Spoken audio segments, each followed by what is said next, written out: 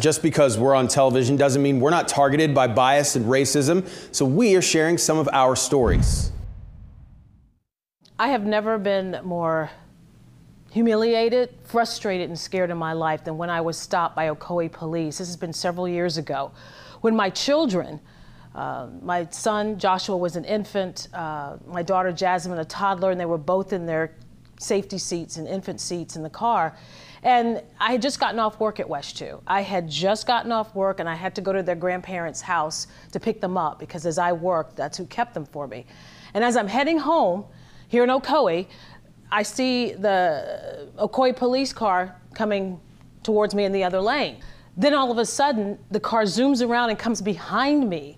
And I'm still pretty much sitting there because I don't know what's going on. And I hear, driver, cut your engine off. Driver, get out of the car. And I'm just like, what the heck is going on? I mean, that, that was the bottom line. I get out of the car and and they've got their guns drawn. I could see this, even though it was late. It was around this time. It was probably uh, one in the morning, but with all the lights, you could still see.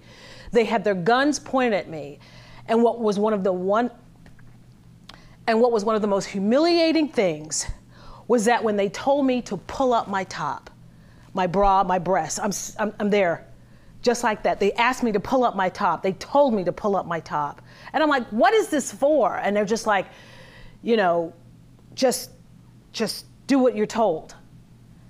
And then I had to start walking backwards towards them. And I told them my kids are in the car, my babies are in the car, they're in the back seat and they're strapped in. They started marching with their nine millimeters towards my vehicle pointing at my kids. And I'm like, please don't hurt them. Please don't shoot. I kept pleading with them. I kept pleading with them. And I'm walking backwards at the same time. And I'm like, what is going on? Why are you guys stopping me? I haven't done anything. And then they said, if you don't be quiet, you're going to go to 33rd. They handcuffed me. They put me in the back seat of the vehicle and said, you better be quiet or you're going to go to 33rd. I said, I haven't done anything. What is this about?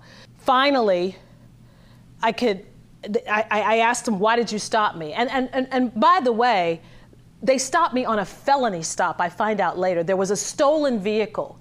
There was a gray um, Ford something or Toyota something. I was driving a gold Nissan Pathfinder.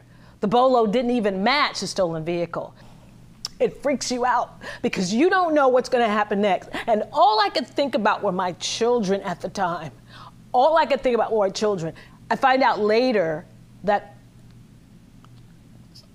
few, maybe, and I know at least one, but maybe more of those police officers were removed from the Ocoee police force because of racial profiling. When I was in middle school, I was going to summer camp and I remember I was getting on the bus to go to an arcade with this school, um, with the camp, and a kid I, I will never understand what made him say this or, or what or prompted him to. He just flat out called me the N word. And he was so mean about it. And it was weird because I, I think I was so young and I just froze. I just froze. What do you do? You're in middle school. You just freeze. And um, someone had told the counselors what had happened and they made sure that the kid was punished. But I think growing up, I always thought and, and this might be kind of foolish to say, but I always thought I would deal with these types of things later in life. Never in my life did I think I would have to deal with it at such a young age. And still to this day, I think about that. Because I grew up in a house with a black dad and a white mom, and we never really had these sort of conversations. I was afforded some sort of, if privilege is the right word, I'm not sure uh, but it seemed like I was more accepted into different groups just because of the color of my skin, because I wasn't maybe perceived as as threatening as somebody else who was darker skinned than I am. I have two daughters now, but when I was naming them, I had older black people tell me that it was too ethnic of a name. My name's Summer, and my first daughter's name is Sade. And you know, especially not that you don't with your other children, but your first child, you you really think about the name and what it means to you and what you want to name your child. And to have people tell me, ah, you shouldn't do that because it, it sounds ethnic and you know you got you got to think when they're applying for jobs people are going to know they're black before they can even get in the door and prove that they're just as good or better just the fact that that's how people feel and they weren't doing it to be mean or to be um, nasty or anything like that. They really were trying to look out for me, and that's the kind of advice that we get. I was invited to a journalism conference. I was a fellow with a bunch of emerging journalists and other journalists of color, and they brought us in and wanted to have a conversation about race. It was one of the last nights of the conference, and it was honestly one of the most damaging experiences in my career. We sat down and we talked about race and we talked about inequality and we talked about uh, newsrooms not looking like the communities that we serve. It was just very hurtful after a while. Like once we started talking, it was uncomfortable, it was hurtful, it was racist. Um, there was one one person at the table that made a comment and just asked me, why are you so angry about this? Like, what, why, why is this such a big issue? It's not like you have to say yes, massa anymore. As we sat and we continued this conversation, uh, one of the women at the table got up and said, Oh, well, you know, I'm going to the bathroom. And her friend joked, Oh, make sure you go to the colored one. And these were two white women that were talking to each other. Let's see, I was uh, probably 15, 16 years old. I think when I first had a really bad encounter with the police, um, and probably my only true bad encounter with the police. And um, I was, I, I, grew up in a neighborhood where um, it was, you know, low income. Uh, we had some Section 8 housing uh, inside of the neighborhood. We had an incident where a guy was murdered at the basketball courts inside of our neighborhood. I didn't know that this had happened. There's a cop, uh, sheriff's deputy on every corner in my neighborhood looking for the person who's responsible for the shooting. Uh, I still don't know that this is happening until um, you know I, I, walk outside the house.